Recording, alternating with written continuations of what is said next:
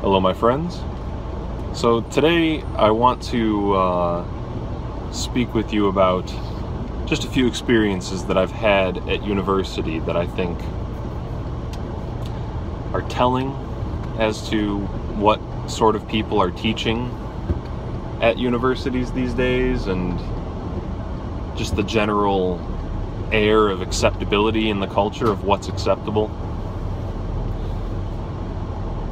And so the first story is from my very first week of class. Uh, I was in my one of my classes, and um, the teaching assistant, the TA, is this younger black woman, kind of heavy set. And we were going through doing introductions, all the students were, and the professor kind of gave an introduction, and then she gave her introduction. And one of the first things she said was that she just had her second child or something. I think it was her second or third child. And she followed it up saying, and if you think having kids is all fun, well, you're wrong. Having kids is the worst. Don't have kids. Don't have kids. She actually said that. And she's like, oh, you're up all night and you know, you, you think that you'll have any time to yourself? No. And she goes on this like tirade about not having kids. When she she's already a mother and she's telling a classroom with a significant percentage of young female students not to have kids. And just like that really bothers me. And not only that, but what kind of a mother tells anybody that their kids, you know, are just horrible things and that they don't really, you know, she didn't stress anything about how wonderful it is or how much she loves her kids. There was no flip side where she says, "Oh, but all of that is worth it because you know, you love your kids and it's it's one of the best experiences that life can offer." There was nothing like that. It was just don't have kids. You know, reflecting on this, I know exactly which kind of mother would do that. The kind of mother who goes to work all day at a university instead of taking care of their new born children. And I think kids, I mean, yeah, kids are hard to raise. I mean, it's it's a difficult, challenging experience. But you shouldn't resent your kids, and you shouldn't tell other people that it's such a horrible thing. It, it shows such immaturity, in my opinion. And especially so for somebody who is in a position of presumed leadership, of authority and power over these kids. I mean, she's grading their tests, and kids in college do look up to their professors and the people like teaching assistants more than you would think. They do have a position of authority, so it's it's messed up that she said that. I really don't like that. So that's the first thing. The second thing just actually happened today, which is what is prompting this video. Um, in my European history class, we've been learning about the Industrial Revolution.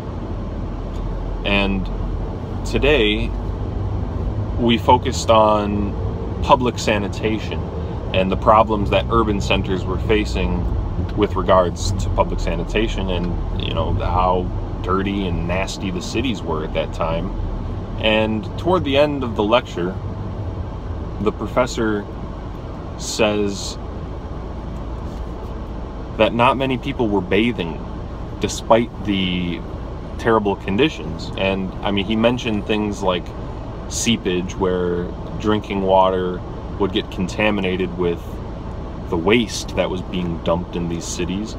And so he admitted that that had something to do with it. But then, out of nowhere, the professor says, that Europeans in general, and this is a white guy, I think he's actually Jewish. His last name, I'm not going to give his last name, but I think he is Jewish. Um, he says Europeans in general had a cultural a cultural aversion to bathing and swimming and swimming. He said he's talked about how how ship captains would go down with their ships if they ever crashed because they didn't know how to swim and that Europeans were generally afraid of water that they didn't like water. They were dirty stinky creatures that didn't bathe. He actually said this I mean imagine if you pointed out something if a professor at a university pointed out something like that blacks can't swim which is true. I mean, he's he's talking bullshit about Europeans, but if you said something true, like blacks can't swim generally, uh, you would probably be run out of town, called a racist and a bigot and everything else. But if you tell a lie, such as the Europeans were culturally averse to bathing and swimming, that they were afraid of water. That's verbatim. I wish that I had recorded it. I usually record my classes, but I actually turned off the recorder just a couple minutes before he said that because it was at the very end of the class and I didn't think we were talking about anything else. But just as everyone was getting up, he started saying this. And um, so, I mean, I did research after I got out of class and Everybody knows about the bathhouses of ancient Greece and Rome. There's even like a tomb of the diver, uh, an ancient Greek tomb that shows a person diving into a pond or a pool. Um, so that shows that the Greeks and Romans, who were European, loved to bathe and they loved to swim in the water. Julius Caesar, I found uh, while I was Googling, liked to swim. And even if you fast forward past Rome, uh, someone like King Ecbert, uh, King of Wessex, I think, was he had a pool that he used frequently, and it, some chronicler I read on Wikipedia said that King Ecbert um, was a practiced swimmer, that he liked to practice swimming. And if you look through the medieval chronicles, you'll find pictures of people swimming. It's not uncommon. Uh, and bathing.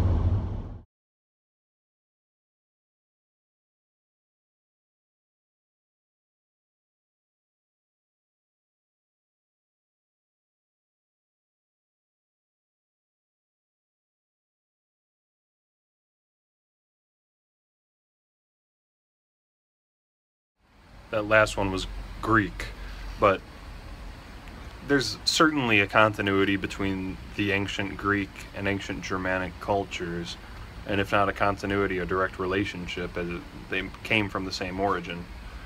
So, and when we look at their heroes, like Beowulf or Odysseus, they were both great swimmers. So that the cultural aversion to swimming, cultural aversion to water, fear of water. It's just, what is this guy talking about?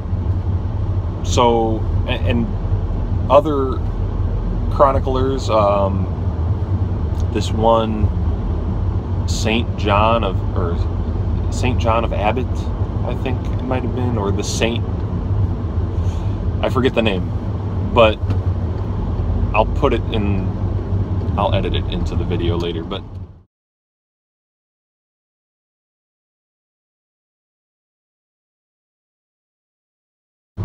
he said that the Vikings who invaded Britain bathed at least once a week and they changed their clothes every day and um,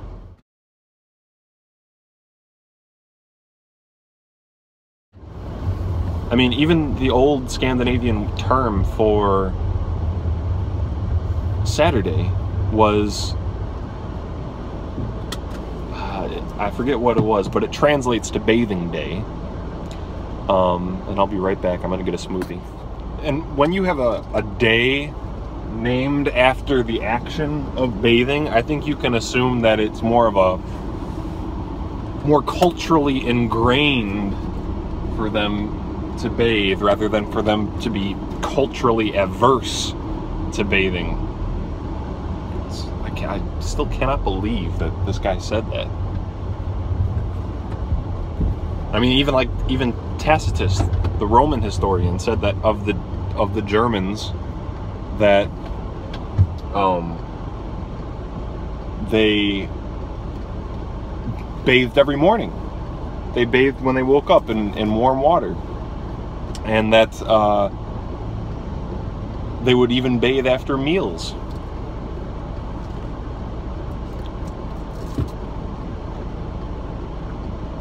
So there's not really much in the historical record that says that Europeans were culturally averse to bathing. One other thing I wanted to add the only people in Europe who were truly culturally averse to bathing were Christians. Uh, there are stories all over the internet of famous Christian saints and monks and whatnot who refused to bathe. They'd only bathe once a year. They'd only bathe. One of them had only bathed like two or three times in his whole life. So this was not a common European thing. This was an eccentric thing brought in by Christian fanatics, and um, also at the start of the 16th century and later on with urbanization, it was a rational fear of stagnant water in cities that people wanted to avoid. Um, bathing itself was not ever something that Europeans in general were culturally averse to. I mean, you have. Uh, oops. You have that one Arab, the Muslim who traveled up with the Vikings, and he he said that they were so dirty and stuff, but even he said that they bathed and that they washed, but he called them unclean because they didn't bathe in the, the Muslim traditional ways. So that doesn't really count. And yet, what this professor was saying is something it's it pissed me off because it's something that I've actually heard from like black supremacists and you know the the melanin enriched philosophy where you know melanin gives you a spiritual connection with uh, Yakub or whatever the fuck that whoever made Whitey down on some island in a laboratory, that black Muslim scientist who made Whitey. I hear those kinds of people say this shit all the time. Like, oh, the Moors taught Europeans how to bathe before the Africans and the Arabs came y'all whiteys were just living in the caves, not bathing. It's so, I, yeah, I can't believe I heard it from a professor. And this was like an older, well, like I said, older white guy in in quotes in echoes.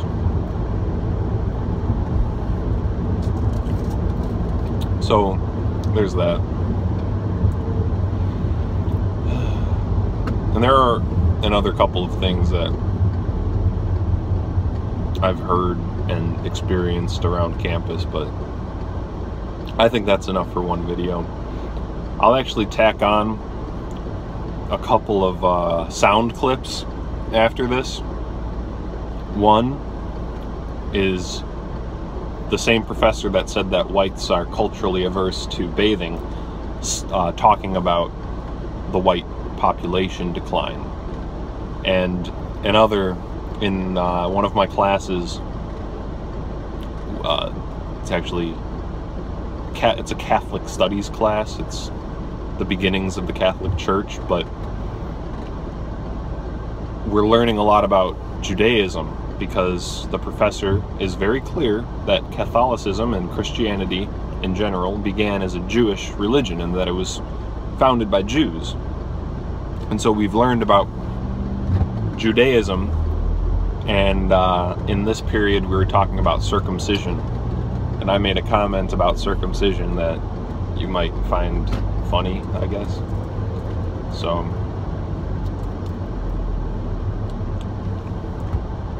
I'll tack those on at the end. Apart from apart from all that, I'm still not at work yet. I still have like a half a block left. So I'll add on, I guess I'll make some remarks about school in general. I am definitely a minority at this school, and it feels weird. I mean, there are other white people in my classes, but we're certainly the minority.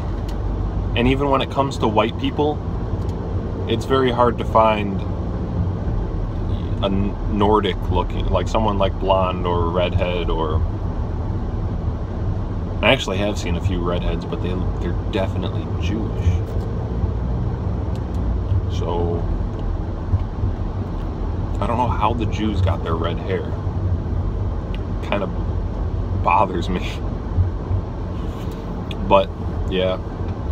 So as like a tall, fair-haired, light-eyed northern European, you're definitely in the minority at a major university in America these days. And uh, you can feel it. I mean, nothing nothing bad has happened. I haven't like faced discrimination, and I wouldn't expect to. But it's just weird.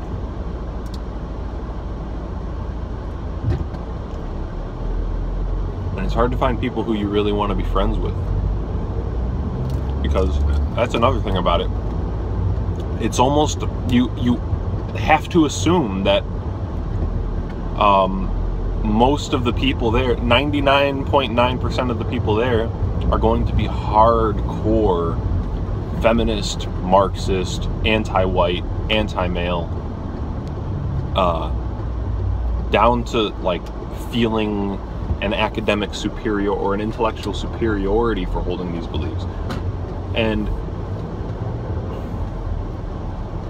walking around in that environment is like walking around in a minefield. You you can't feel it's hard to feel comfortable and it's hard to make friends because I mean, you don't want to open up to them. It's just a bad idea. It's just going to turn into something not good. And when you don't want to open up to them, then it's hard to find the people who do agree with you because you're closed off. Because you you have to be defending yourself, really, from the potential for attack. So, and I even worry making these videos. Like, what if what if it gets back to my professors that I talk in my videos about them? Even if I'm not mentioning their names, I'm not mentioning the classes I, I still wonder how or if this could get back to me and how it could damage me, but you know, to me it's worth it. To me it's worth just speaking my truth and getting it out and connecting with you guys. So thanks for watching. And so we'll get back to this when we talk about European imperialism in the latter 19th century, but one of the consequences of this is that by the turn of the 20th century, by the year 1900, Europe's populations account for some 30% of the aggregate world population, right, which has not yet been caught up in this demographic boom. Uh, so again, this is a portion of world population that Europeans had never before constituted, nor would they ever again, right? I mean, as you know, today, that portion of world population continues to drop. Males have done to them presumably on the eighth day, sometimes later if, they're, if they convert to Judaism later in life, um, as a sign of their relationship with God. Okay, this, this was common to other sorts of religions in the Syrian region, but for the most part, um, circumcision was set Jews apart from other practitioners of religion in the Roman Empire. Okay. Um, an important thing to keep in mind here, right? Circumcision, only male circumcision, not female circumcision. So if you're a woman living in the Roman Empire and you're Jewish, you're not circumcised. That should also tell you, right, which sex, right, in the ancient world, male or female, is higher than the other one in Judaism, right? Women are higher? No, men are. Oh. Um, women are afforded particular stations within Judaism, um, but all I mean, another way of putting this, right, is that it should be telling, right, that the sign of one's relationship with God is a sign that only men can display. Because I have just a, perspective on circumcision that it's Yeah. just mutilation personally. So that's why I said that. That's why. I Yeah, yeah, yeah. no, I, I understand where you're coming from, right? And then that's a so so think of it differently, right? Um, in antiquity, in fact, um, you're thinking of it how many non-Jews in the Roman Empire would think of it, right? Is that it's a sign of like mutilation, and why would you ever want to be circumcised, right? Um, but for Jews, it's a sign of their status as a special people who have a particular relationship with the God of Israel.